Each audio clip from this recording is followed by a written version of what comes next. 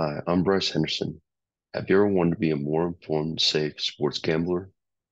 45% of sports betting is conducted online, and sports gambling is available 24/7. This can cause problems for people who have a gambling addiction and can lead to bigger problems in the future.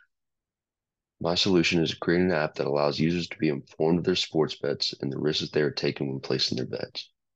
With the use of AI and other resources, I want to create an environment where users can use our app to make smart choices when they choose to place a wager.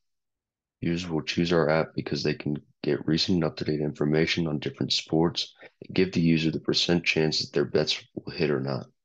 Our user will be able to create their own personal profile that allows them to connect their betting accounts and show them the amount of money that they are winning and losing over time. My app will also feature resources to help users with gambling addictions.